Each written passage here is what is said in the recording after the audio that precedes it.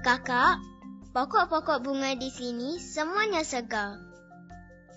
Memanglah, jika kita menyiramnya dengan air setiap hari, pokok-pokok bunga di sini akan hidup segar. Bunganya berwarna-warni. Betul. Dira mesti bantu kakak menjaga pokok-pokok bunga ini. Mestilah.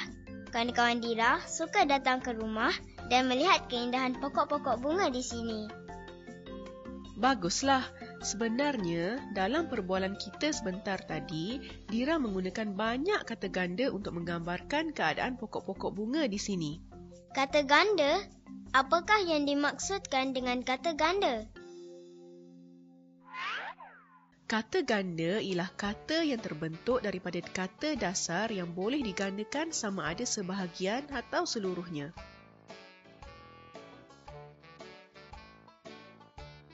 Oh, baru Dira ingat.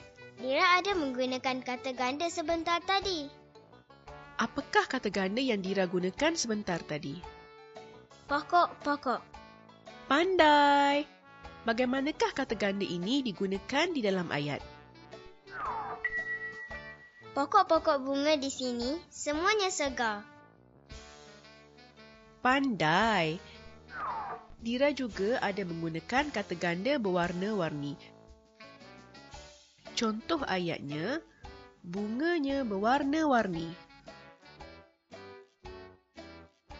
Kakak, mengapakah kata ganda berwarna-warni perkataan yang digandakan tidak sama seperti pokok-pokok?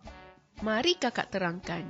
Kata ganda terbahagi pada empat jenis iaitu kata ganda penuh, kata ganda separa, kata ganda berentak dan kata ganda berimbuhan.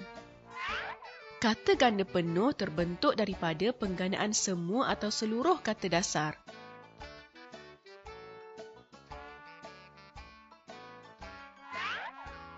Contohnya ayam-ayam, guru-guru dan malam-malam. Tanda sempang mesti diletakkan pada perkataan yang menerima penggandaan tersebut. Contoh ayatnya, Setiap hari ayah memberi makan ayam-ayam peliharaannya. Ayam-ayam adalah contoh kata ganda penuh. Dira faham. Boleh Dira beri contoh lain? Boleh. Silakan. Guru-guru sedang bermesyuarat dengan guru besar di bilik guru. Yang manakah kata ganda penuh? Kata ganda penuh di dalam ayat tadi ialah guru-guru. Pandai. Baiklah, kata ganda separa pula ialah penggandaan sebahagian kata dasar sahaja. Contohnya, dedaun, cecair dan kekuda.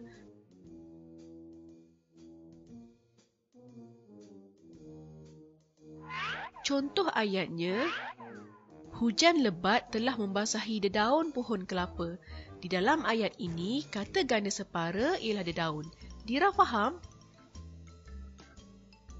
Dira faham. Boleh Dira berikan contoh yang lain?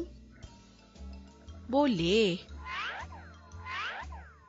Kakak suka menggunakan cecair pelembut kain ketika membasuh baju. Di dalam ayat tadi, kata ganda separanya ialah cecair. Pandai. Sekarang, kakak akan terangkan kata ganda berentak. Kata ganda berentak terbentuk hasil daripada penggandaan kata dasar pada huruf vokal atau konsonan sama ada di pangkal, di tengah atau di hujung perkataan. Contohnya, kuih muih, gunung ganang dan mandi manda. Tanda sempang mesti diletakkan pada perkataan yang menerima penggandaan tersebut. bagaimanakah dengan contoh ayatnya? Ini contoh ayatnya. Emak selalu membeli kuih muih kegemaran Dira di pasar malam. Kuih ialah kata dasar, muih adalah contoh kata ganda berentak. Hmm, boleh kakak berikan contoh yang lain? Setiap pagi, keadaan di sekeliling Gunung Ganang itu diseliputi kabus akibat cuaca sejuk. Baik Dira, di dalam ayat tadi, apakah kata ganda berentak yang digunakan? Hmm, ganang adalah kata ganda berentak yang digunakan di dalam ayat tadi. Pandai. Dira sudah faham? Dira sudah faham. Kalau begitu, sekarang kakak akan terangkan kata ganda berimbuhan pula. Kata ganda berimbuhan ialah penggandaan kata dasar yang menerima imbuhan akhiran.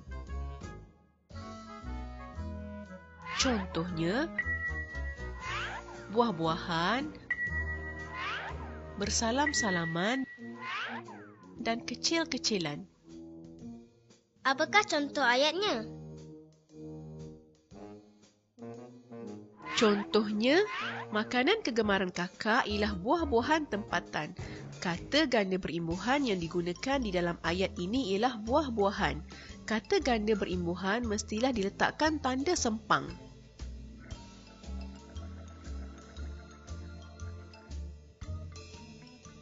Dira faham. Boleh Dira berikan contoh ayat yang lain? Boleh. Sebelum berpisah, semua ahli keluarga kita bersalam-salaman. Apakah kata ganda berimbuhan yang digunakan di dalam ayat ini? Kata ganda berimbuhan yang digunakan di dalam ayat ini ialah bersalam-salaman. Pandai. Sekarang, adakah Dira sudah faham apa itu kata ganda dan jenis-jenisnya? Dira sudah faham. Terima kasih kakak. Mari cepat kita bersihkan halaman ini. Hari pun sudah lewat petang. Baiklah. Hai kawan-kawan. Hari sudah lewat petang. Dira mesti masuk ke dalam rumah.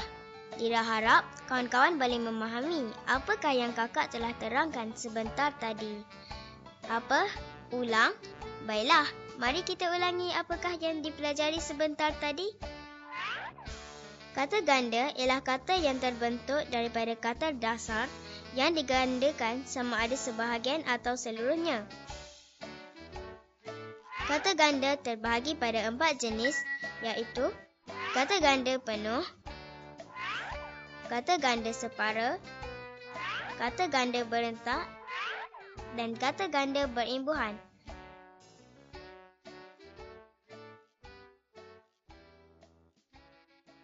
Selamat tinggal kawan-kawan. Selamat belajar.